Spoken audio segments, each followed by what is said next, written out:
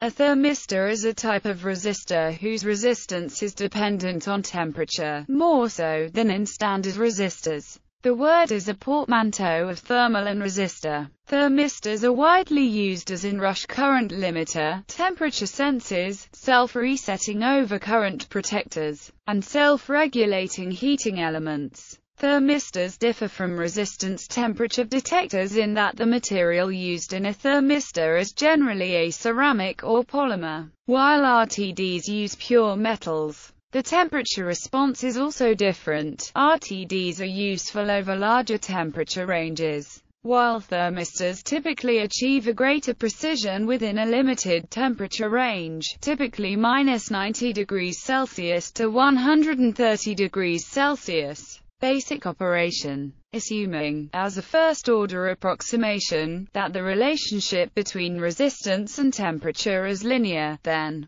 where change in resistance, change in temperature, first-order temperature coefficient of resistance thermistors can be classified into two types, depending on the classification of, if is positive, the resistance increases with increasing temperature, and the device is called a positive temperature coefficient thermistor, or posistor. If is negative, the resistance decreases with increasing temperature, and the device is called a negative temperature coefficient thermistor.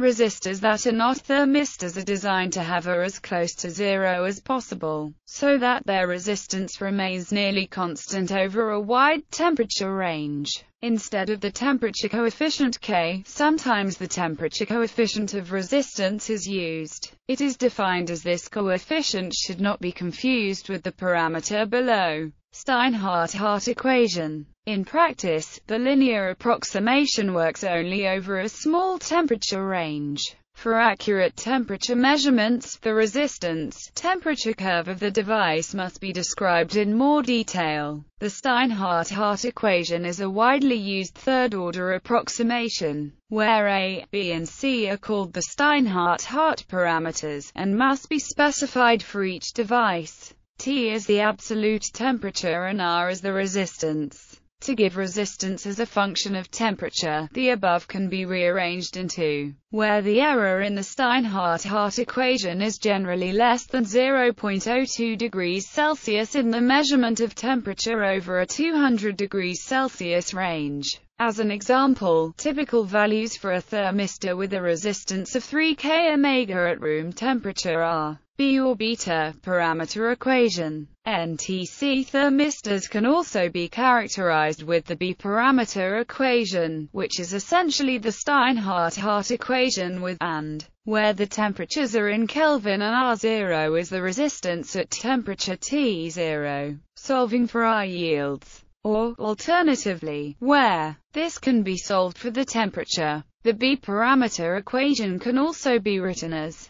this can be used to convert the function of resistance versus temperature of a thermistor into a linear function of versus the average slope of this function will then yield an estimate of the value of the B parameter. Conduction model. NTC Many NTC thermistors are made from a pressed disc, rod, plate, bead or cast chip of semiconducting material such as sintered metal oxides. They work because raising the temperature of a semiconductor increases the number of active charge carriers, it promotes them into the conduction band. The more charge carriers that are available, the more current a material can conduct. In certain materials like ferric oxide with titanium doping an N-type semiconductor is formed and the charge carriers are electrons. In materials such as nickel oxide with lithium doping a p-type semiconductor is created where holes are the charge carriers. This is described in the formula equals electric current equals density of charge carriers equals cross-sectional area of the material equals velocity of charge carriers equals charge of an electron. Over large changes in temperature, calibration is necessary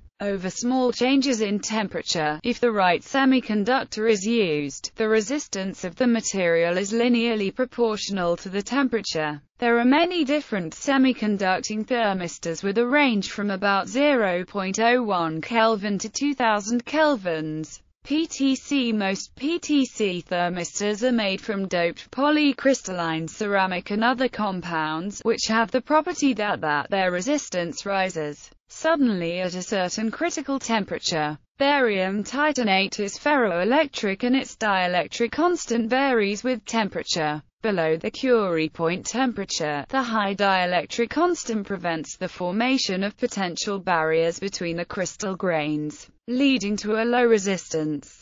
In this region the device has a small negative temperature coefficient. At the Curie point temperature, the dielectric constant drops sufficiently to allow the formation of potential barriers at the grain boundaries and the resistance increases sharply with temperature. At even higher temperatures, the material reverts to NTC behavior. Another type of thermistor is a silistor, a thermally sensitive silicon resistor. Silistors employ silicon as the semiconductive component material. Unlike ceramic PTC thermistors, silistors have an almost linear resistance temperature characteristic. Barium titanate thermistors can be used as self-controlled heaters. For a given voltage, the ceramic will heat to a certain temperature, but the power used will depend on the heat loss from the ceramic. The dynamics of PTC thermistors being powered also is extremely useful. When first connected to a voltage source, a large current corresponding to the low, cold, resistance flows but as the thermistor self-heats,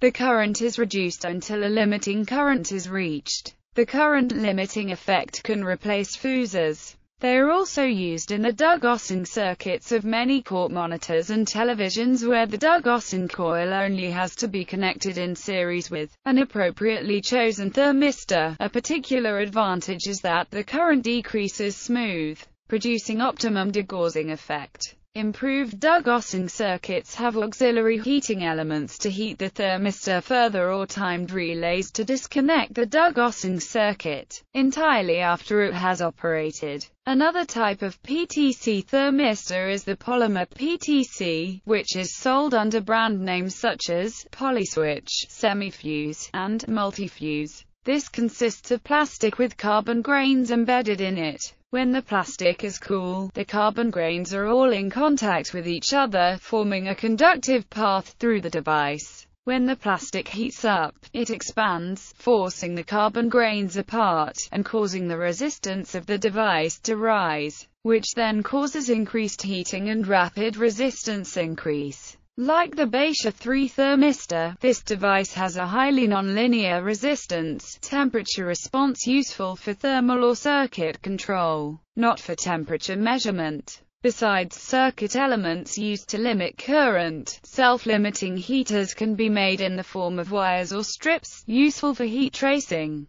PTC thermistors latch into a hot, low-resistance state. Once hot, they stay that way, until cooled. In fact, Neil A. Downie showed how you can use the effect as a simple latch memory circuit, the effect being enhanced by using two PTC thermistors in series, with thermistor A cool, thermistor B hot, or vice versa. Self-heating effects when a current flows through a thermistor, it will generate heat which will raise the temperature of the thermistor above that of its environment. If the thermistor is being used to measure the temperature of the environment, this electrical heating may introduce a significant error if a correction is not made. Alternatively, this effect itself can be exploited. It can, for example, make a sensitive airflow device employed in a sailplane rate of climb instrument, the electronic variometer, or serve as a timer for a relay as was formerly done in telephone exchanges.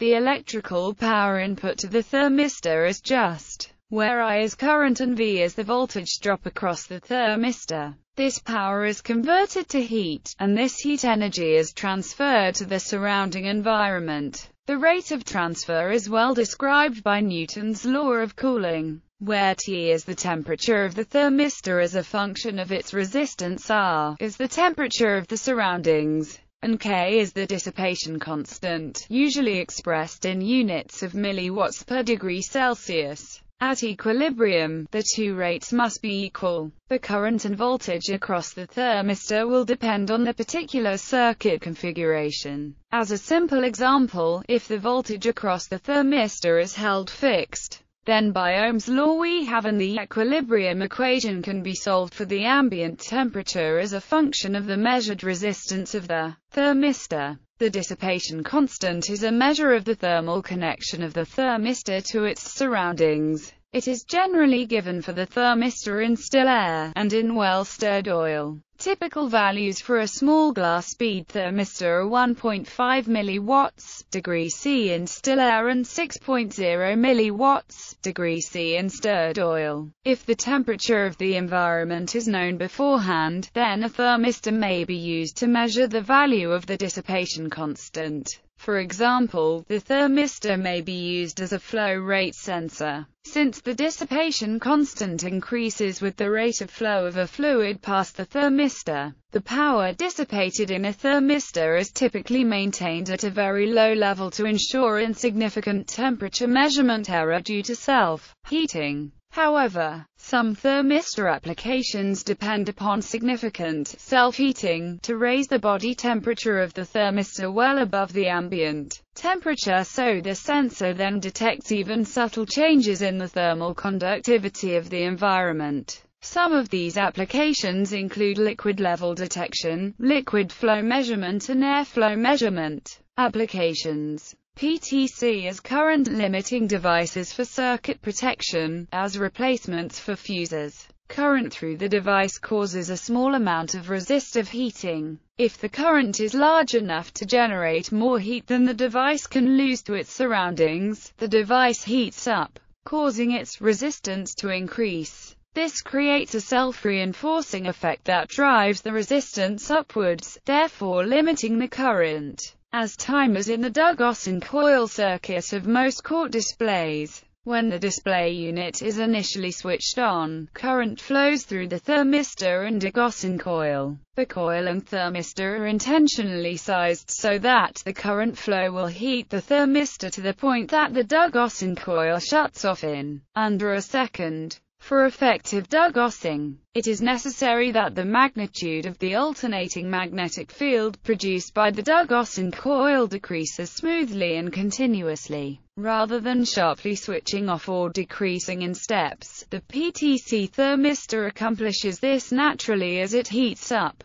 A degaussing circuit using a PTC thermistor is simple, reliable, and inexpensive, as heater in automotive industry to provide additional heat inside cabin with diesel engine or to heat diesel in cold climatic conditions before engine injection. In temperature-compensated synthesizer voltage-controlled oscillators. In lithium battery protection circuits in an electrically actuated wax motor to provide the heat necessary to expand the wax. NTC is resistance thermometers in low temperature measurements of the order of 10 K, as in rush current limiting devices in power supply circuits. They present a higher resistance initially which prevents large currents from flowing at turn on, and then heat up and become much lower resistance to allow higher current flow during normal operation. These thermistors are usually much larger than measuring type thermistors, and are purposely designed for this application. As sensors in automotive applications to monitor things like coolant or oil temperature inside the engine, and provide data to the ECU and to the dashboard to monitor the temperature of an incubator. Thermistors are also commonly used in modern digital thermostats and to monitor the temperature of battery packs while charging. Thermistors are often used in the hot ends of 3D printers. They monitor the heat produced and allow the printer's control circuitry to keep a constant temperature for melting the plastic filament. In the food handling and processing industry, especially for food storage systems and food preparation, maintaining the correct temperature is critical to prevent foodborne illness. Throughout the consumer appliance industry for measuring temperature. Toasters, coffee makers, refrigerators, freezers, hair dryers, etc. all rely on thermistors for proper temperature control. NTC thermistors come in bare and lugged forms. The former is for point sensing to achieve high accuracy for specific points, such as laser diode die, etc. History the first NTC thermistor was discovered in 1833 by Michael Faraday, who reported on the semiconducting behavior of silver sulfide. Faraday noticed that the resistance of silver sulfide decreased dramatically as temperature increased. Because early thermistors were difficult to produce and applications for the technology were limited, commercial production of thermistors did not begin until the 1930s. A commercially viable thermistor was invented by Samuel Ruben in 1930.